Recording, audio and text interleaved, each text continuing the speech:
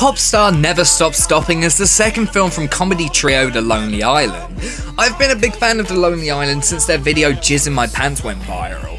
I really liked Hot Rod, so I was super excited for this new film. In fact, it was probably one of my most anticipated movies this year. The trailers looked really funny, but I was afraid it would follow the trend of a lot of comedies recently and use all their funniest jokes in the trailer, but luckily they didn't. The movie is a mockumentary which parodies documentaries about musicians such as Justin Bieber's Never Say Never. The film is about Andy Samberg, who is a pop musician called Connor for Real. Connor grew to success in a boy band known as the Style Boyz, but they broke up with one member stepping away from the mic and becoming Connor's producer, and the other member becoming a farmer. The film starts with the release of Connor's second album, CONNquest, on which he used different producers and slaved to make it as good as possible. The album tanks, so with the help of his manager, he has to try and keep him in the limelight, including doing things such as putting his album inside of household appliances, which causes a wide blackout. The film chronicles the ups and downs of being a pop star.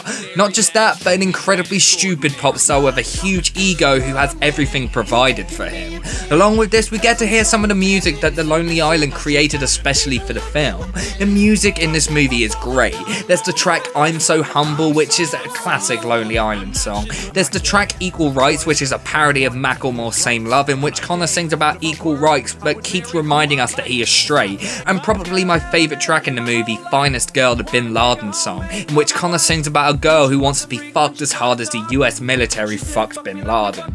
That song is a perfect example of a lot of the humour in this film, just incredibly ridiculous and silly. Unlike Hot Rod, this film really does feel like a Lonely Island movie. If you're a fan of their music, you will undoubtedly love this movie because in many ways it's like seeing their music turned into a movie. The humour is exactly what you'd expect. The crude, smart and self-aware humour, and I'd honestly say like 99% of this film is incredibly funny. Like, I don't think there were many jokes that didn't make me laugh out loud. The writing in this film is fantastic, making fun of many different stupid things done by pop stars in recent years is. The character of Connor is in many ways similar to Justin Bieber and does follow a lot of the low points that he did. And of course, the household appliance music release is very similar to U2's controversial release of their last album. And possibly one of my favourite reoccurring jokes in the movie, the parody of TMZ in which Will Arnett and Chelsea Peretti cameo.